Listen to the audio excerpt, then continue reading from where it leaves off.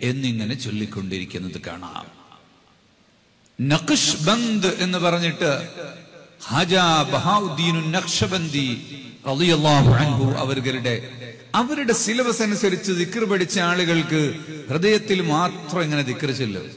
അവരുടെ ദിക്റിന്റെ മജിലിസ് പോയാൽ നല്ല രസമാണ് ചൊല്ലിക്കൊടുക്കുന്ന ആൾ സ്വലവാത്ത് എന്ന് പറയും.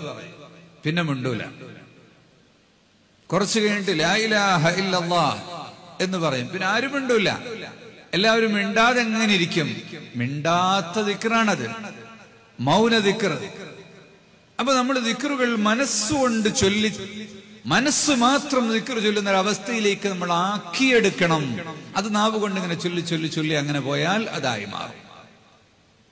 കിടന്നുറങ്ങുമ്പോൾ ദിക്റിലായി ഉറങ്ങണം. ദിക്റിലായി ഉറങ്ങിയാൽ സുബിഹി വരെ ദിക്കർ ശരീരത്തിലൂടെ സഞ്ചരിച്ചു കൊണ്ടിരിക്കും അപ്പൊ ഉറക്കത്ത് മരിച്ചുപോയാൽ ദാക്കിറായി മരിക്കും.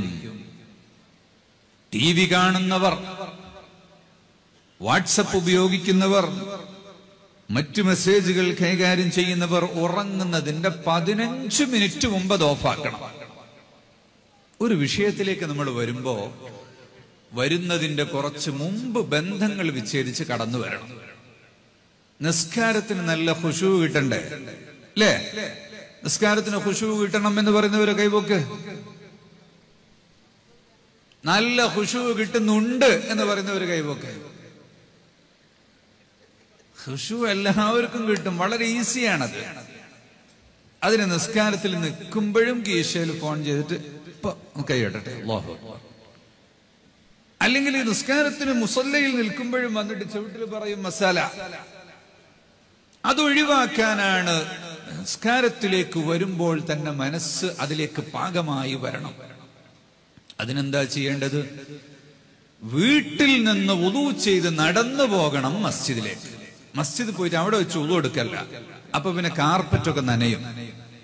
അതിൽ പൂപ്പ് പിടിക്കും. സുജൂത് ചെയ്യുന്നവന്റെ മൂക്ക് കൊണ്ട് ഇങ്ങനെ വലിച്ചിട്ട് അവന് ജലദോഷം വരും. അപ്പൊ വീട്ടിൽ നിന്ന് തന്നെ വുതു ചെയ്തു പോകണം. നടന്നു പോകണം. അപ്പൊ ഒക്കെ അവന്റെ മനസ്സിൽ ഇങ്ങനെ നിസ്കാരം വന്നുകൊണ്ടേയിരിക്കും.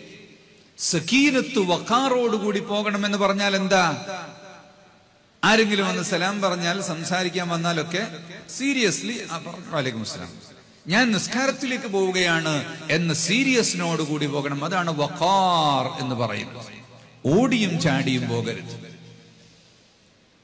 അവിടെ ചെന്ന് അങ്ങോട്ട് വള്ളിയിലേക്ക് കയറുമ്പോൾ ദുനിയാവ് മാറ്റിവെച്ചു. എല്ലാ കെട്ടും പുറത്തു വെച്ചിട്ടാണ് കടക്കുന്നത്.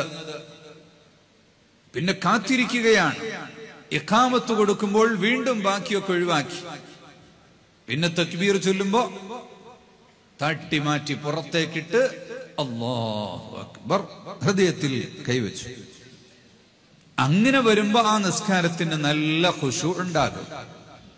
എന്താണ് ഹുഷു ഉണ്ടാകുക എന്ന് പറഞ്ഞാൽ ഞാൻ അള്ളാഹുവിന്റെ മുന്നിൽ നിസ്കരിക്കുകയാണ് എന്നൊരു ബോധം ഉണ്ടാവുക. അത് തന്നെ. അപ്പൊ നമുക്കൊരു ഖിയാമ് മുഴുവനും ഹുഷു കിട്ടൂലെങ്കിൽ ഒരു ഒരു മിനിറ്റ് എല്ലാ എല്ലാ പാട്ടിലും ഒരു സമയം ഒരു ചെറിയൊരു ലഹള ഹുഷു ഉണ്ടാകാൻ ശ്രമിക്കാം റുക്കുവിന്റെ ഇടയ്ക്ക് എപ്പോഴെങ്കിലും ഒരു ഹുഷു ഉണ്ടാവുക. അങ്ങനെ ശ്രമിച്ചാൽ പിന്നെ അത് നിറ